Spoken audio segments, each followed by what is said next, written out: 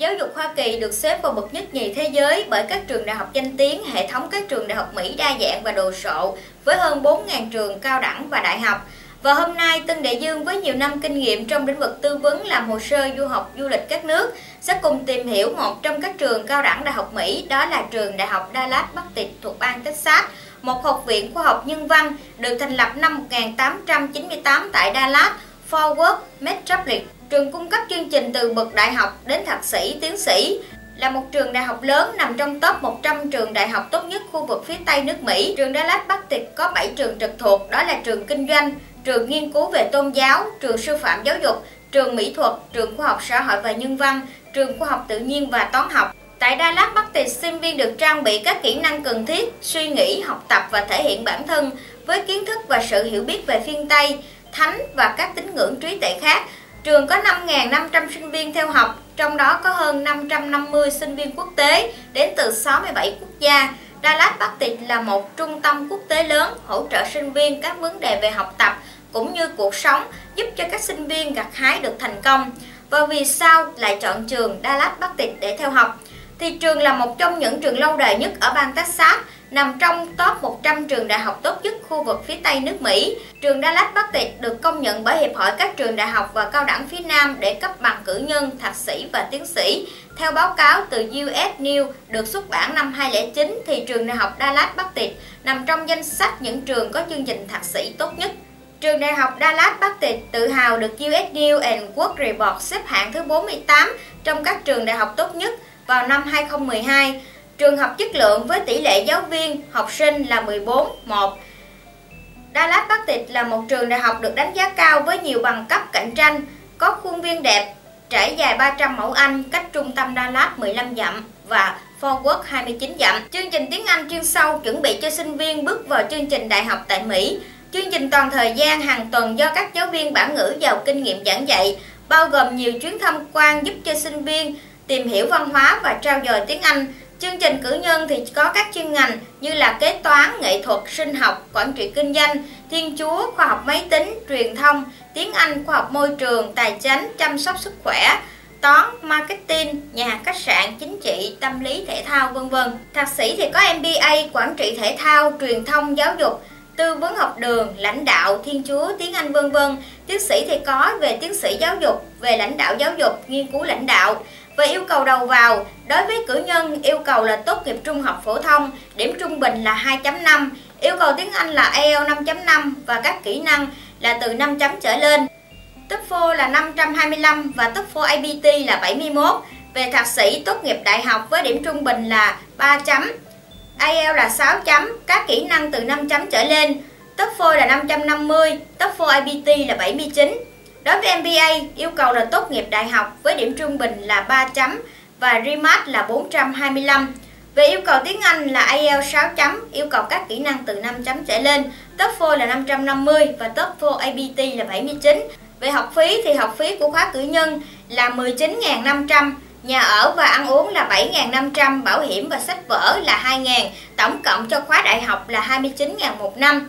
Đối với khóa thạc sĩ thì học phí là 15.000, nhà ở và ăn uống là 7.500, bảo hiểm và sách vở là 2.000, tính ra một năm cho học sinh học chương trình thạc sĩ là 24.500 và tiếng Anh học phí là 12.500, nhà ở và ăn uống là 7.500, bảo hiểm và sách vở là 1.000 và chương trình một năm tiếng Anh là 21.000 đô la Mỹ một năm.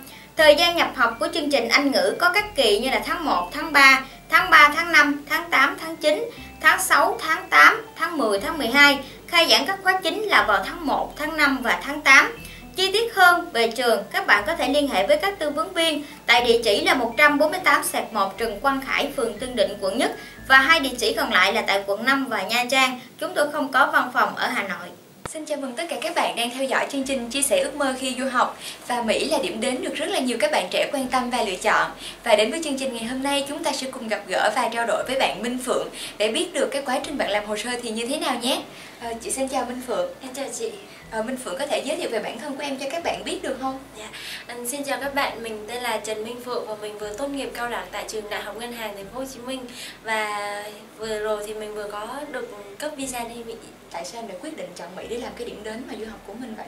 Ừ, Dạ, tại vì khi mà em thấy cái chương trình học bên Việt Nam thì nó khá thụ động ừ, và em thấy cái trường ở Mỹ thì nó phát triển hơn và em cũng muốn là học tại một đất nước nó phát triển về giáo dục, kinh tế cũng như là có một cái kinh phí rất hợp lý thì em đã chọn để đi du học Mỹ ở Việt Nam em đang học cái ngành tài chính ngân hàng Dạ. vậy con Mỹ thì em sẽ theo học cái chương trình gì em ha Dạ, em tiếp tục học đại học về ngành tài chính. Em học tại trường California State University Fullerton. Trường California State University Fullerton thì có 57 năm kinh nghiệm.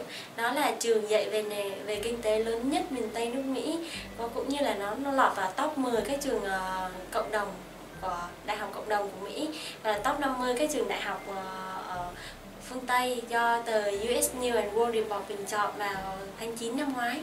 Và trường thì cũng thu hút là khá đông sinh viên quốc tế đến 17.000 sinh viên mỗi năm trong tổng số là 37.000 sinh viên mỗi năm của trường. Và trường thì đào tạo rất là nhiều ngành đến- hơn 100 ngành luôn chị.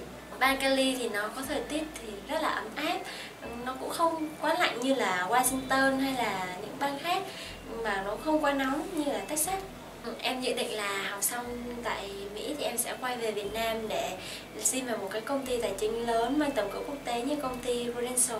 Để cho chị hỏi là trong cái quá trình em làm hồ sơ Tân Đại Dương đó thì em có cảm nhận gì về dịch vụ của Tân Đại Dương cung cấp cho em? Dạ thì đầu tiên là em có nghe những đứa em của em nó cũng làm ở đây công trung tâm này thì em thấy là tụi nó kêu với em là ở đây làm tốt lắm chị. À, tỷ lệ đậu cũng cao. Thì em cũng có tìm hiểu thêm nhưng mà em quyết định là chọn Tân Đại Dương. Sau khi một thời gian mà các anh chị làm hồ sơ em thì em cảm thấy các anh chị rất là nhiệt tình vui vẻ. Có như là em thắc mắc nhiều lắm. À mấy anh chị cũng họ nhiệt tình giúp đỡ luôn. Có khi họ đi hỏi lại mà cũng mấy anh chị cũng không bao giờ phiền gì hết. Mấy anh chị lúc nào cũng vui vẻ với mình. Và đặc biệt là anh Khôi với anh Bảo Anh. Anh Khôi thì à, những cái thắc mắc về những cái câu hỏi đi phỏng vấn của em thì anh Khôi đã trả lời và hướng dẫn tụi em định hướng câu trả lời cho tụi em. Còn anh Bảo Anh thì giúp tụi em có một sự tự tin để vào lãnh sự quán và không bị hồi hộp cũng như lo sợ. Nếu mà có bạn bè em mà muốn đi du học thì tất nhiên là em sẽ giới thiệu đến Tân Đại Dương ở đây là quá tốt rồi Rồi chị rất là cảm ơn những chia sẻ của Phượng ha Dạ. Và chị hy vọng là sau 5 năm mình học bên Mỹ em có thể trở về Việt Nam để thực hiện được ước mơ của mình nha dạ Vâng, rất cảm ơn các bạn đã quan tâm theo dõi chương trình chia sẻ ước mơ khi du học và còn rất là nhiều những clip chia sẻ các bạn có thể truy cập vào website tân đại dương.edu.vn hay là tddvn.com. Xin chào và hẹn gặp lại các bạn.